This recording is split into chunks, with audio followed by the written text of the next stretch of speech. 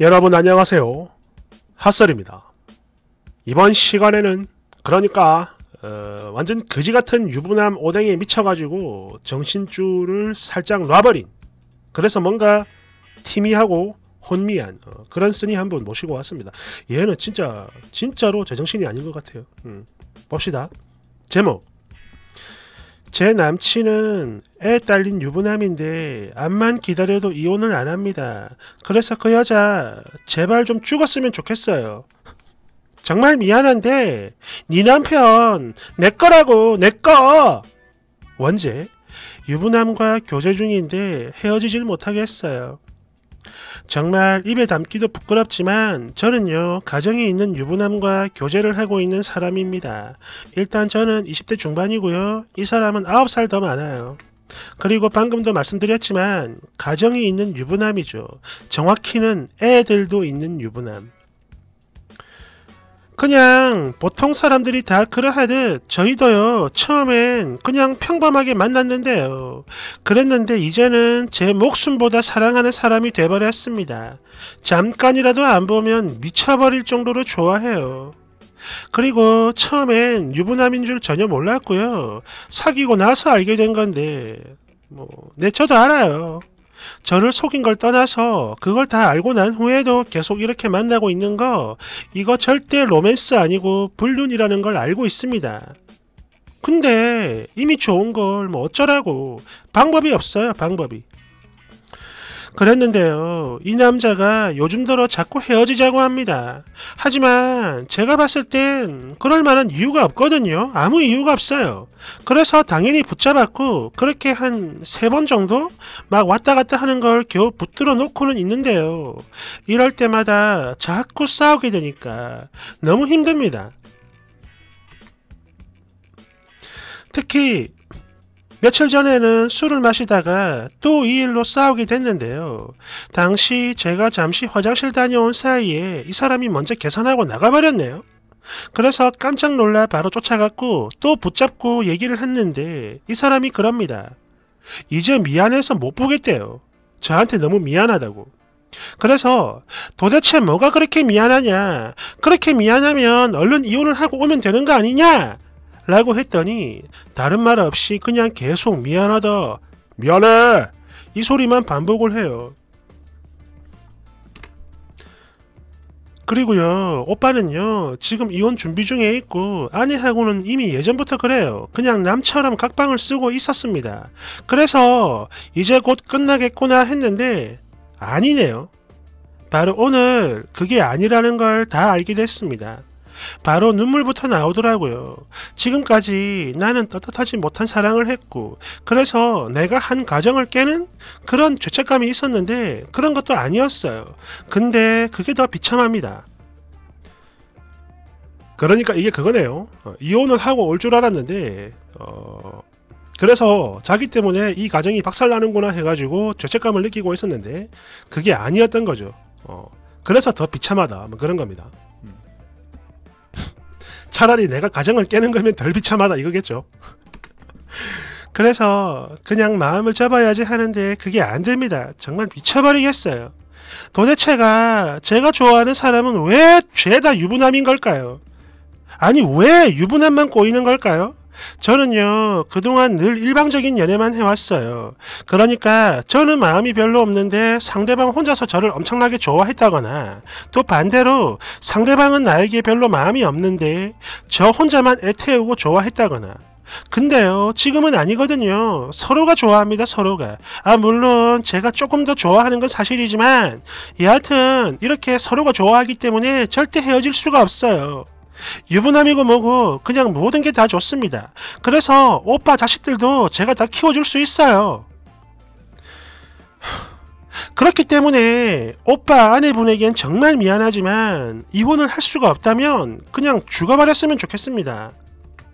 어차피 둘이 계속 같이 있어봤자 행복할 일은 없을 거고 또 오빠도 분명 저를 훨씬 더 사랑하니까요. 세상 누가 봐도 제 남자인 게 확실하거든요. 그래서 정말 정말 미안하지만 그 여자가 제발 없어졌으면 좋겠습니다. 모두를 위해서. 뒤에 더 있습니다. 댓글 1번. 이런 미친 지금 누구더러 내 남자 이지랄? 어?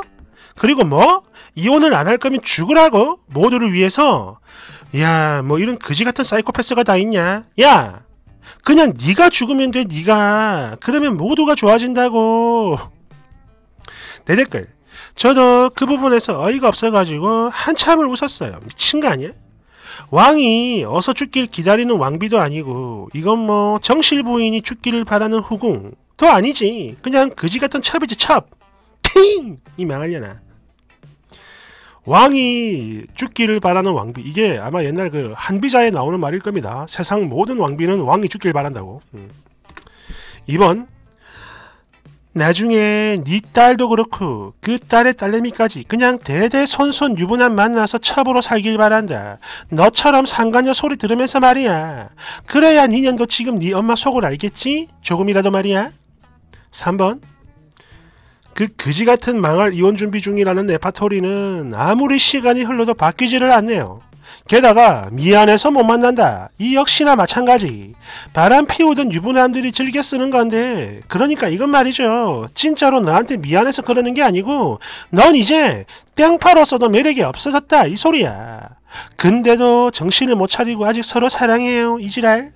야, 네 몸뚱아리 이제 질려가지고 버리겠다는데 이건 뭐 눈치도 없어가지고 그걸 붙들고 앉았네.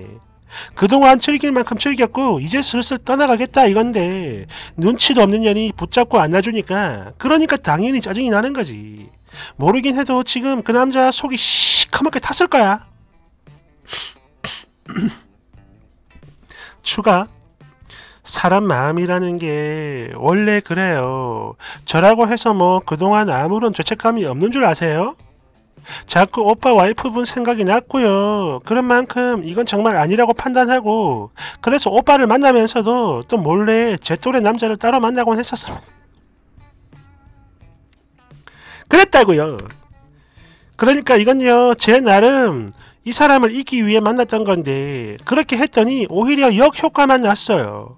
처음부터 수준이 높은 남자를 만나서 그런 건지 그 아래에 있는 남자들은 다 시시하게 느껴졌고 또 너무 비교가 되니까 그 사람이 되려 더 애틋해졌다 이거죠. 아니 근데요 바람 피우는 유부남들도 그렇고 또 저처럼 유부남을 좋아하는 사람도 그렇고 다들 각자의 사정이 있는 거 아닌가요? 네? 거기다가 제가 오죽했으면 아내분이 죽기를 바랄까요? 나는 찐사랑이라고. 그리고요 남편의 바람 이건요 부인의 책임도 있다고 봐요 얼마나 여자로서 매력이 없고 아내 노릇을 못했으면 자식까지 있는 남편이 밖으로 돌겠냐고요 얼마나 끔찍하고 싫으면 그러겠냐고 안 그래요? 남편이 힘들 때 옆에서 한 번이라도 보듬어주고 이해를 해줬다면 바람 같은 거 절대 안 피우죠 근데 그렇게 안 하니까 그러니까 이렇게 바람이 나는 겁니다. 우리는 찐사랑이라고. 댓글 1번. 아니 이 망할년이 쳐 돌아나 진짜 정신승리 오지는구만. 야 바람은 말이야. 아내랑 남편이 못해서 그런 게 아니라 그냥 사타구니에 바람이 차서 그런 거요. 어?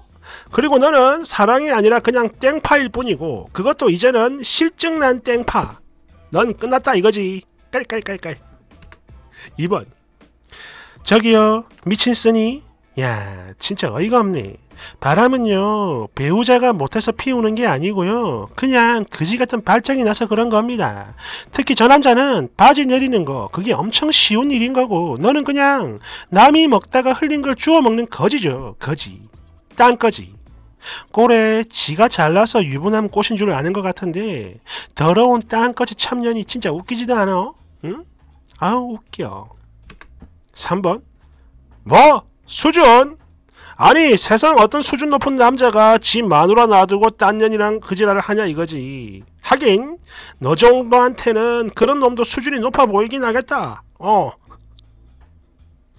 사람 4번 사람들이 참년팔자 참년팔자 이러는데 내가 보기에 너는 참년팔자도 아니요. 그냥 매번 유부남만 꼬인다는 걸 보니까 이건 그냥 공중변소 팔자지. 5번 유부남이 맛있어 아니 유부 유부남이 멋있어 보이는 거. 그래 그게요 니 또래보다는 안정적이니까 그렇게 보일 수도 있습니다. 또래 남자들은 차도 없고 같이 밥이라도 먹으면 더치페이 아니 최소 커피 정도는 네가 사야 하니까. 거기에 선물도 마찬가지.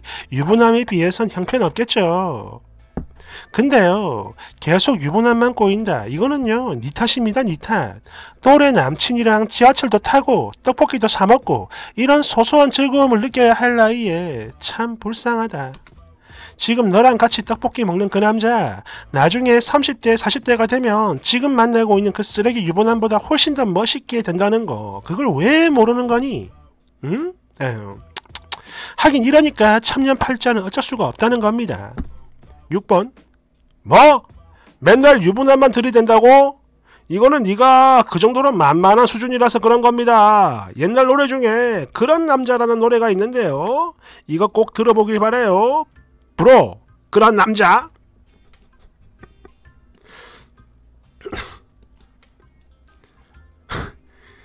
야, 이 이게요. 우리 같은 일반적인 보통 사람이 보면은 왜 저럴까 싶지만 여러분 불륜 카페 한번 가보세요. 진짜 거기 가면 보통 사람이 미친 사람 취급을 당한다니까요. 어, 이런 것들이 진짜 많습니다. 엄청 많아요. 그냥 뭐 좀 있는 건가 이게 아니라 엄청나게 많습니다. 우리나라에 아니 이 세상에 다들 미친 것 같아요. 어. 감사합니다.